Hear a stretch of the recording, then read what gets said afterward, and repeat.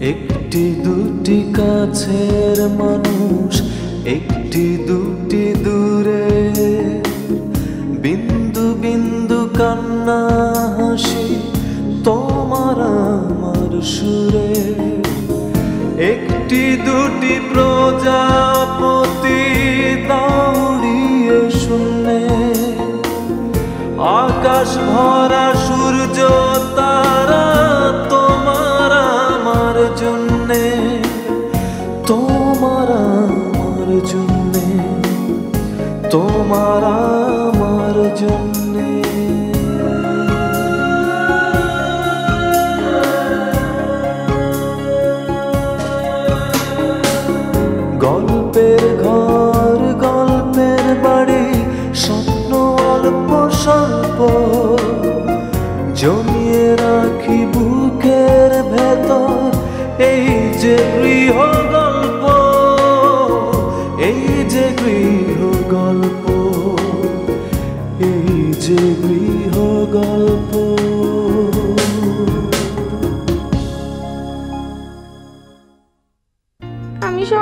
পারি। মার কখনো ভালো হবে না। মা তো পাগল হয়ে গেছে। তোমার সাথে আমার ডিল কিসের ডিল হ্যাঁ আপনি আমার কাছে অনেকগুলো কমিটমেন্ট করেছিলেন। গয়না তো হেরা নিয়েছে। ওই তো সরিয়ে রেখেছে। গয়না কই আছে? আমি জানি। জুনায়েদকে ধরা অত সহজ না। মিস্টার জুনায়েদ টাকাটা রেডি রাখবেন আমি কালকে গিয়ে নিয়ে আসব। মশিউর হোয়াটস গোয়িং অন এই যা।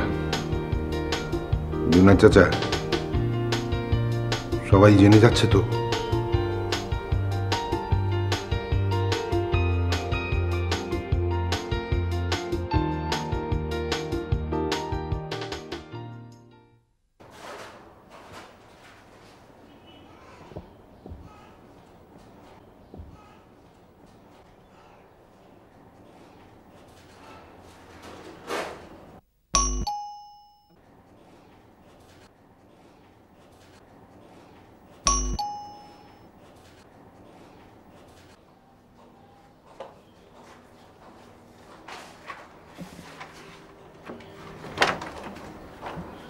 আর ভেতরে আয়।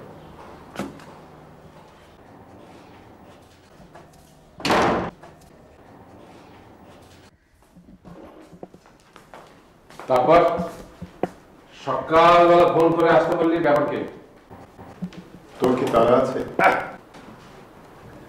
কেন বলতো? না সন্ধ্যায় একটা কাজ আছে। সন্ধ্যায় কাজ আর সকালবেলা ফোন করে আসতে বললি হ্যাঁ। কিরে সানোয়ারকে নিয়ে কোনো সমস্যা আছে কদিন ধরে বাসায় ফেরে না এটা তো নিত্য নৈমিত্তিক ব্যাপার এটা নিয়ে এত টেনশন হচ্ছিস কেন না তাহলে আচ্ছা তুই তো সানোয়ারের মামা ও সম্পর্কে নিশ্চয়ই অনেক কিছু জানিস কি হয়েছে বলতো? জেনে শুনে আমার মেয়েটাকে এরকম বিয়ে দিয়েছিলি? আহ ভনিতা না করে আসল কথাটা বল না।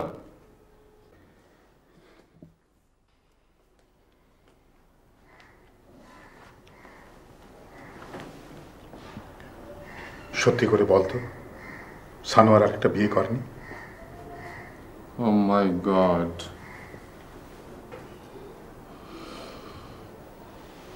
জুনায়দ আমার মেয়েটা তুই কার কাছে শুনেছিস? মেয়েটা বুসরার বাবার কোম্পানিতে চাকরি করে। ফয়েজ খোঁজ নিয়েছে।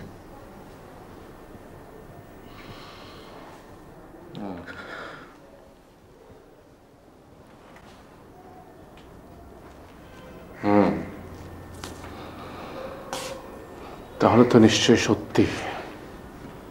আচ্ছা আমার কি দোষ ছিল বলতে পারিস? আমিও বলতে পারি না। নিশ্চয়ই আমার কোনো দোষ ছিল।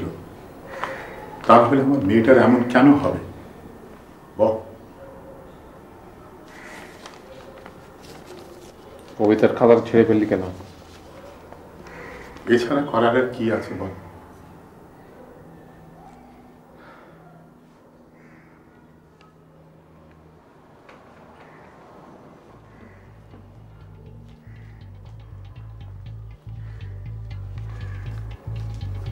আমি একটা সিদ্ধান্ত নিয়ে ফেলেছি। কি করা উচিত? ডিভোর্স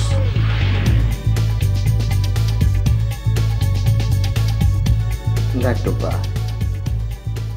আমরা আসলে তোকে নিয়ে বেশি চিন্তিত।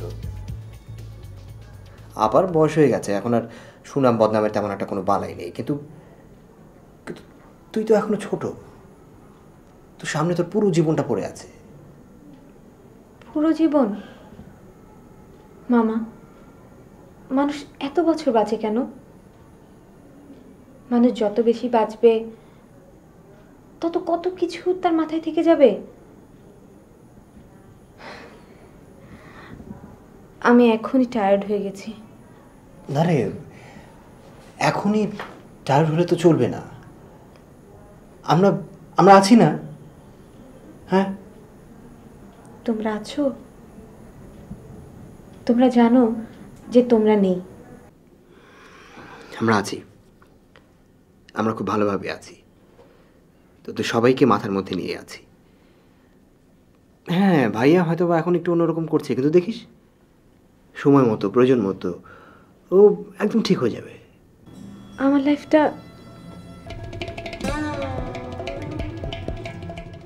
আপা তুই কিছু বল।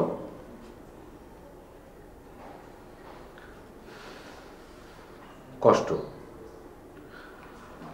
তোর কষ্টটা তোর মতো করে না হলেও আমি বুঝতে পারি।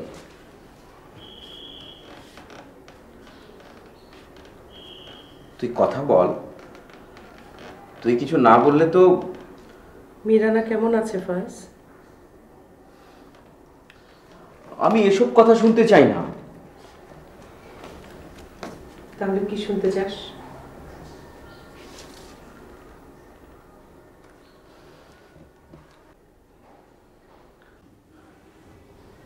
আপা তুই তো সব জানিস বুঝিস। তোরাও তো সব জানিস। তাহলে আমাকে জিজ্ঞেস করছিস কেন? তুই তোর নিজের কথা বল। এই তো। আমি রুকু। বাবার মেয়ে তোদের বোন সানোয়ারের স্ত্রী। বুঝেছি। তুই কোনো কথা বলবি না। বাবা তোকে কিছু বলেছে? আমি কথা বলেছিলাম। বাবা নিজেও ফয়েজ তুমি একটু ওখানে যাবে? আমি একটু রুকুর সাথে কথা বলতাম।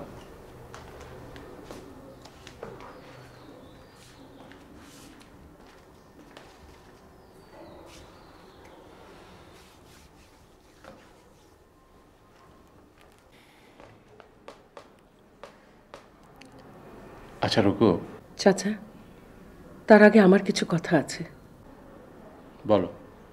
আমি কি কোনো ইন্টারোগেশন সেলে আছি? এ কথা বলছো কেন? তাহলে সবাই আমার সাথে আলাদা আলাদা করে কথা বলছে কেন? কারণ সবাই তোমাকে নিয়ে চিন্তিত। আমি কি কোনো দোষ করেছি? না। কিন্তু আমরা সবাই মিলে যেটা করতে চাইছি সেখানে তোমার মতামতটা হচ্ছে সবচেয়ে গুরুত্বপূর্ণ। সেটাই হবে ফাইনাল সিদ্ধান্ত।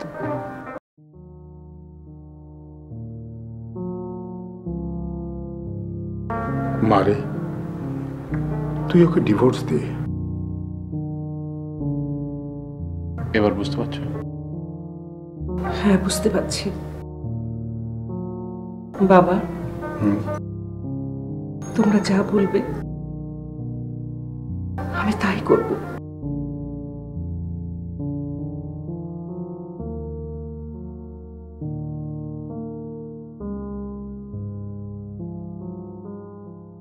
টুম্পার সাথে কথা বলেছিস? হুম। কি মনে হলো? ও বিষয়টা বুঝতে পেরেছে? হ্যাঁ বুঝতে পেরেছে কিন্তু মেনে নিতে পারছে বলে মনে হয় না। তা আপা কি বলল? আপার সাথে বাবা আর জুনায়দ চাচা কথা বলছে। আপা আগের মতো আর করবে বলে তো মনে হচ্ছে না। জুনায়দ চাচা যেহেতু কথা বলছে যদিও সে বাবার বন্ধু কিন্তু সানোয়ারের তো মামা। আচ্ছা ভাইয়া এই ব্যাপারটা কি ঠিক আছে? আমি এটা কি ঠিক হচ্ছে? ঠিক না হওয়ার কি আছে? তাছাড়া সানোয়ারের চরিত্র আমাদের কাছে তো এখন ঝকঝকে পরিষ্কার। ওর সাথে আবার কিসের সম্পর্ক? এই এই সানোয়ারকে চিনতে তোমাদের অনেকদিন সময় লেগেছে। আমি বড় হওয়ার সময় বুঝতে পেরেছিলাম যে এই লোকটা এই লোকটা একটা বদমাস একটা জোচ্চোর। সেটাই। এখন ডিভোর্সটা হয়ে গেলে আমরা সবাই বেঁচে যাই। কাহা তো কার এই ঝামেলা ভালো লাগে বল? বেঁচে তো যাই আমরা কিন্তু আপা টুম্পা ওদের ব্যাপারটা কি আমরা বুঝতে পারছি? মানে? ভাইয়া আমরা কি আমাদের ডিসিশনটা ওদের উপর চাপিয়ে দিচ্ছি না?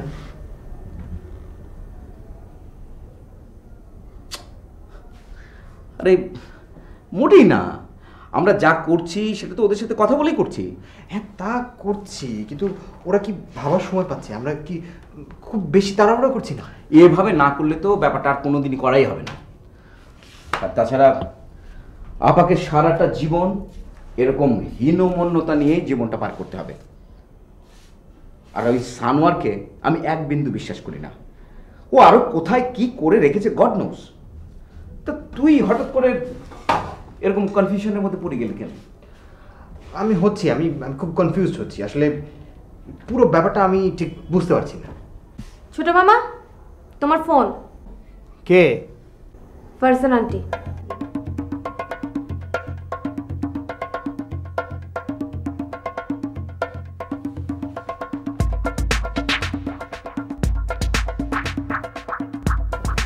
আচ্ছা উম, এত প্রবলেমের মধ্যে তুমি ফিরে এলে কেন? ধর প্রবলেমগুলো একটু সলভ করতে যদি পারি সেই চেষ্টা করার জন্য। তুমি একা কি সব ঠিক করতে পারবে? আর কারোটা না পারলেও তোরটা হয়তো পারতে পারি কি বলিস? তোর কি হয়েছে রে? কিছু হয়নি তো? কি হবে আমার? মিথিলা কিন্তু এইভাবেই ওর প্রবলেমগুলো আড়াল করতে করতে আজকে নিজের এই অবস্থা করেছে। ভাবি আমার কিছু হয়নি রাসেলের সঙ্গে কি হয়েছে? তুমি জানলে কি করে? মিরানা মীরানা বলেছে? মিরানা কেন বলবে? আমি অন্যভাবে জানতে পারি না।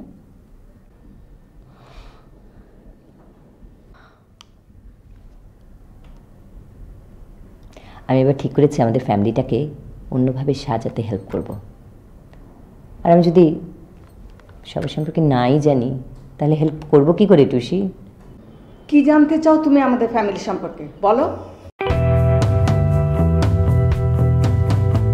মা সময় হলে আমি নিজেই জেনে নেব। তুমি? হ্যালো হ্যালো বাবা? হ্যাঁ হ্যাঁ আমার আজই হ্যাঁ পাঁচ লাখ টাকা লাগবে। আজকেই। হ্যাঁ তুমি অ্যাকাউন্টেন্ট চাচাকে দিয়ে পাঠিয়ে দিও। ঠিক আছে। ওকে বাই টাকাটা আমার নিজের জন্য না। মানে?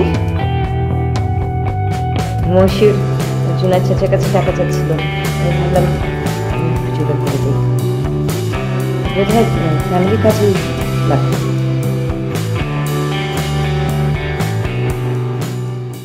ভালো লাগছে না। দেখো মা সব কিছু কেমন যেন হয়ে যাচ্ছে না?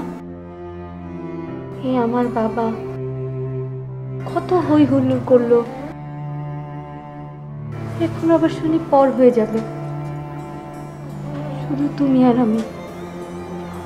লোকটা যাও আসবে ভাবতাম। তাও তো আসতো। ডিভোর্স হয়ে গেলে আর আসবে না। তাই তো? দেখবি আমাদের সেটাও অভ্যাস হয়ে গেছে। কে যেন বলেছিল কোন এক মহাকবি শোকের আয়ু মাত্র দশ দিন তাও কেউ মারা গেলে। মারা যাওয়া আর বেঁচে থেকে অস্তিত্ব না থাকা মা এক না। কি আর করা আমার নিজের অস্তিত্বই তো আমি হারিয়ে ফেলেছি অনেক দিন আগে। এক সময় ছিলাম তোর বাবার স্ত্রী, তারপর তোর মা। এখন আবার হয়ে যাব এ বাড়ির সত্যিকারের বোঝা। মা, তুমি বলতে পারো?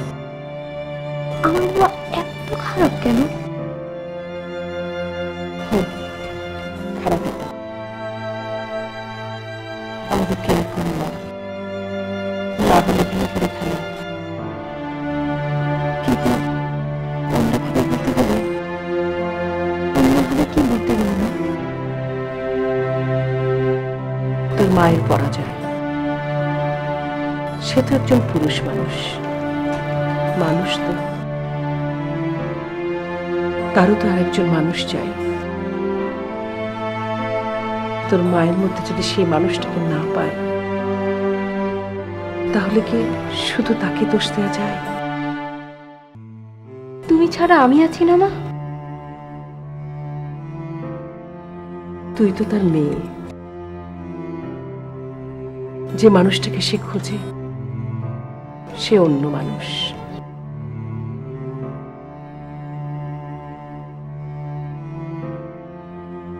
মা, তুমি ডিভোর্স দিয়ে দাও। আমার এরকম ভাবা লাগবে না, মা।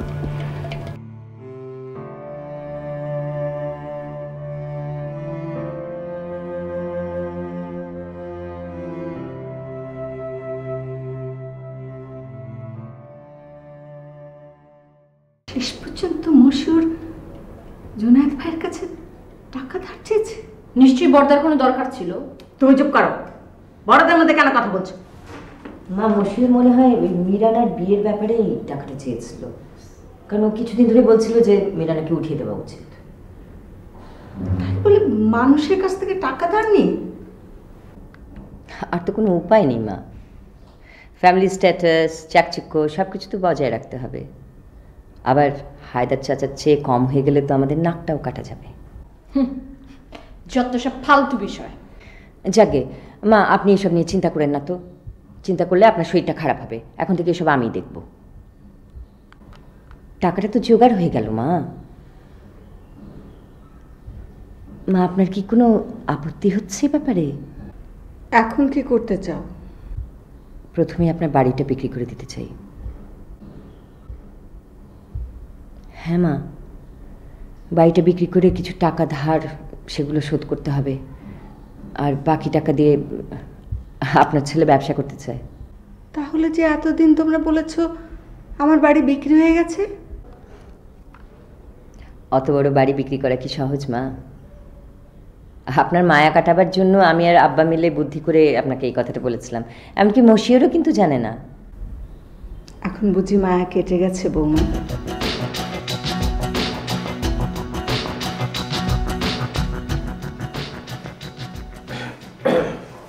ইয়ে মানে আমাদের মেয়ে শুধু এখানে সই করলেই তো হয়ে যাবে তাই না? আর তো কোনো জটিল বিষয় থাকছে না। আপনাদের শিক্ষিত মানুষদের এই এক সমস্যা। আইন আদালত কিচ্ছু জানেন না।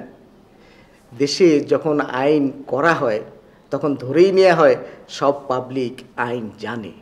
তা অবশ্য ঠিকই বলেছেন। ভুলেও তো আর উকিলের সাথে যোগাযোগ রাখবেন না। শুনুন প্রত্যেকটা ফ্যামিলিতে যেমন হাউস ফিজিশিয়ান দরকার তেমনি উকিলও খুব জরুরি। নাহলে একসময় সব অন্ধকার দেখবেন। ইয়ে মানে আপনি যদি কাইন্ডলি মানে কি করতে হবে বলে দেন। সবে তো উকিল নোটিশ যাবে তারপর আদালত পারিবারিক আদালত মিউচুয়াল হলে অবশ্য মিউনিসিপ্যাল অফিসে গিয়ে একদিনই করতে পারতাম। এখানে কতদিন সময় লাগবে? ম্যাক্সিমাম তিন মাস। তিন মাস? একটু আগে করা যায় না? এত তাড়াহুড়ার কি আছে? ম্যাডামের কি অন্যত্র বিয়ে ঠিক করে ফেলেছেন? জি। জি না মানে তিন মাস তো অনেক লম্বা সময় মানে টুম্পা তোর মাকে ডেকে নিয়ে আয়।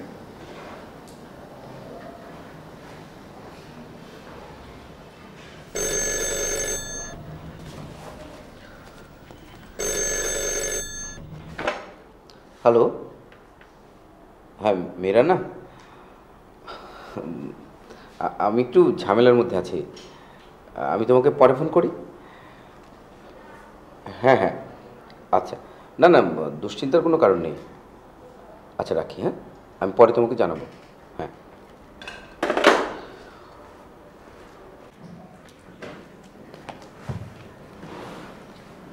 আকরামদের বাসার ফোন। হ্যাঁ। মিথিলার কথা কিছু বলেছে? জি না।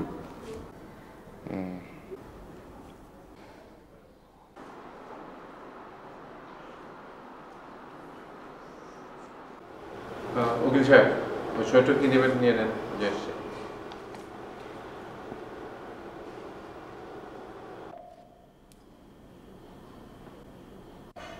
এইখানটায় একটি সই আর এখানটায় দুটো। মা সইটা করে দিই উনি অনেকক্ষণ থেকে এসছেন। আমি সই করতে পারব না। মানে? সানোয়ারকে আমি ডিভোর্স দেব না।